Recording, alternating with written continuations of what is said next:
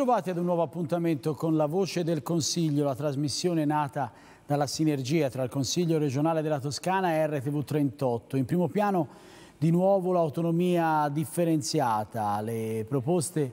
di delibera dopo una settimana di rinvio sono arrivate in aula e entrambe hanno ricevuto il via libera, proposte dal cosiddetto Campolargo, Partito Democratico, Italia Viva, Movimento 5 Stelle sono state approvate dall'Aula del Consiglio regionale della Toscana. Le opposizioni hanno parlato di occasione sprecata, l'autonomia differenziata va anche nell'interesse dei cittadini toscani, questa è la posizione delle opposizioni, il via libera apre il percorso verso il referendum abrogativo della cosiddetta legge Calderoli. Il Consiglio regionale ha approvato a maggioranza le due proposte di deliberazione presentate da Partito Democratico, Italia Viva e Movimento 5 Stelle per l'indizione del referendum abrogativo della legge sull'autonomia differenziata. Una prevede l'abolizione totale della legge nazionale, mentre l'altra, predisposta nell'eventualità che l'abrogazione totale non fosse ritenuta ammissibile, ne prevede l'abrogazione di un'ampia parte. In entrambi i casi il Consiglio regionale dà mandato al Presidente dell'Assemblea legislativa di comunicare la presente deliberazione ai consigli regionali di tutte le altre regioni, con l'invito con invito all'adozione di un uguale atto affinché si possa dare seguito all'iniziativa referendaria. Noi riteniamo che questa sia una legge pasticcio che non risponde certo all'esigenza di far funzionare meglio i livelli istituzionali del Paese. La nostra Costituzione parla di un regionalismo cooperativo e non competitivo. In questo modo, con questa legge, che fra l'altro non ha stabilito prima i livelli essenziali delle eh, prestazioni, non ha eh, messo a disposizione risorse per eh, riequilibrare le diseguaglianze che rischiano invece di aumentare fra regioni più forti e regioni più, eh, più deboli. Noi rischiamo di creare in Italia 20 staterelli che eh, sono insignificanti nei confronti di entità come eh, l'Europa della quale eh, facciamo, facciamo, parte. Dall'altro questa legge che risponde eh, di più alle spinte un po' secessioniste di una forza politica che sta al governo va letta in un combinato disposto con l'altra legge che è quella sul premierato che invece risponde all'applicazione delle spinte diriciste di un'altra forza politica di destra che sta al governo, vale a dire quella di avere un capo dell'esecutivo eletto direttamente dal popolo e difficilmente controllabile sia dal Presidente della Repubblica che dal Parlamento che con quella legge vengono oggettivamente indeboliti. C'è una valenza di natura politica, il centrosinistra è compatto, unito, si allarga, cresce in Toscana, difende le peculiarità della Toscana e la nostra autonomia, quella di indire e richiedere l'indizione di un referendum, è un atto voluto dalla Costituzione, stiamo difendendo la Costituzione al cospetto di una norma voluta dal governo Meloni che fa contenta solamente la Lega, che divide l'Italia, che fa male alla Toscana,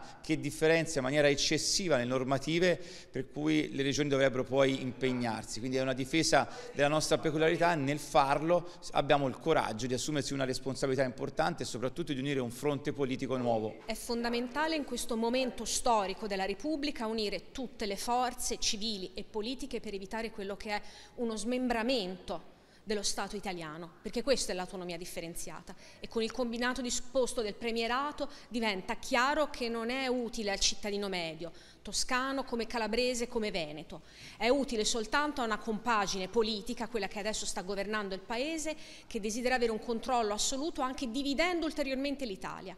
Faccio solo una riflessione che dovrebbe far riflettere eh, tutti i governatori delle regioni, tutti i politici e anche alcuni del centrodestra che già si sono espressi contro.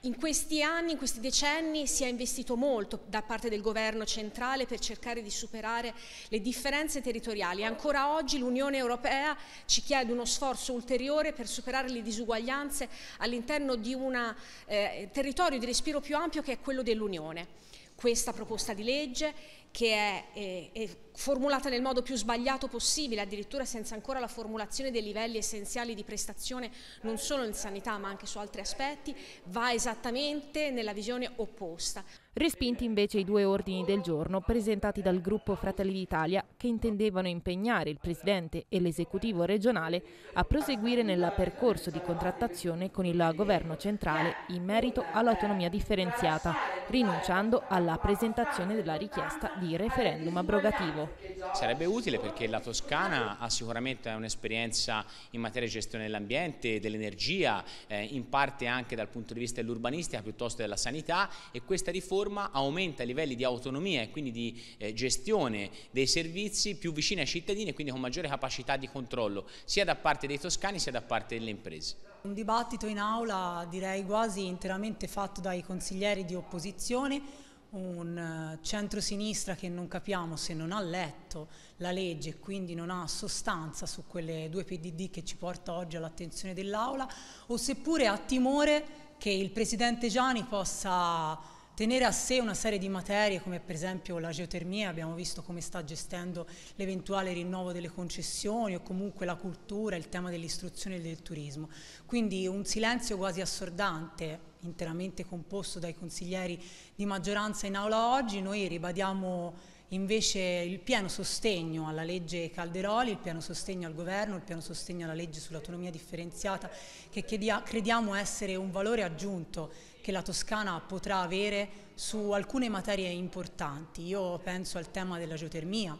penso al tema dei porti, penso al tema del turismo, penso al tema della cultura, una Toscana fatta piena di cultura, piena di musei, gestiti molto spesso anche dallo Stato centrale che rimangono chiusi anche in orari in cui invece magari la Toscana potrebbe garantire delle aperture ulteriori. L'autonomia differenziata è nell'interesse dei cittadini toscani e qualora ci eleggeranno alla guida di questa regione, noi sicuramente chiederemo per tante materie l'autonomia differenziata. Ma lo faremo anche quando siamo sicuri il Presidente Gianni farà ancora un'ulteriore giravolta, prima era a favore dell'autonomia differenziata, poi è arrivata la SLAN, c'è stato questo cambio di posizione eh, chiaramente imposto con la nuova dirigenza del PD e sicuramente il Presidente di questa regione non potrà fare a meno che andare a chiedere autonomia differenziata su alcune maniere e noi saremo al suo fianco e vorremmo e pretenderemo che anche il Consiglio regionale si possa esprimere nel merito e non come fa il PD e questa sinistra ormai così allargata nella ideologia e nella gestione del potere. E spazio anche alla cultura. In Consiglio regionale è stata presentata l'edizione 2024 del Pinocchio Street Fest, tre giorni di appuntamenti culturali in programma a Collodi nel mese di agosto.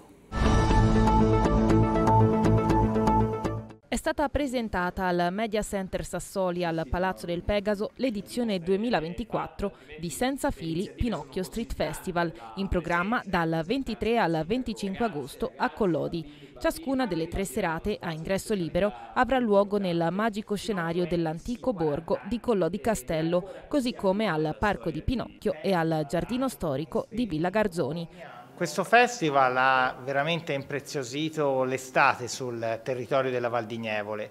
perché ha una particolarità, innanzitutto avere artisti di straordinaria qualità che vengono a Collodi per eh, spettacoli, fra l'altro tutti gratuiti per le persone, grazie al, allo straordinario lavoro che fanno gli organizzatori, alla disponibilità della Fondazione Collodi, del Comune di Pescia e di tutti gli altri enti che supportano appunto le spese di realizzazione e soprattutto ha una location straordinaria perché vedere questi spettacoli nello splendido borgo di Collodi Castello o nella eh, straordinaria Villa Garzoni eh, dà sicuramente alla, a questi luoghi ma devo dire anche agli spettacoli stessi un fascino, una magia tutta particolare. La Fondazione quest'anno ha raggiunto quasi 280 progetti che sono nel mondo, pensate un po'. Quindi eh, è Pinocchio che si muove, io dico spesso che in questi ultimi 30 anni abbiamo fatto tanto per Pinocchio per farlo conoscere, ma quando dove siamo arrivati c'era già arrivato con le sue gambe. Tra teatro, musica e circo, Senza Fili 2024 ospiterà circa 50 spettacoli presentati da compagnie provenienti oltre che dal panorama nazionale da Argentina, Belgio, Brasile, Francia e Spagna. Beh, intanto lo conoscono ormai molti perché siamo alla nova, nona edizione, è un festival che eh, ha fatto proprio della, eh, così, della unione dei linguaggi, della, eh, la sua cifra stilistica, per cui eh, noi, il nostro è un viaggio alle radici dello spettacolo popolare. E magari qualcuno può definirci come un festival eclettico perché mettiamo insieme appunto dalla musica lirica al teatro di strada, però secondo noi ci sono molte connessioni tra le eh, proposte culturali che ogni anno facciamo. Infine lo sport, una città della nostra regione che si sta caratterizzando per la passione per il basket è senz'altro Livorno. Questo 2024 ha visto per la città della Toscana la promozione storica della Libertas in A2, una promozione che è stata celebrata anche dal Consiglio regionale della Toscana.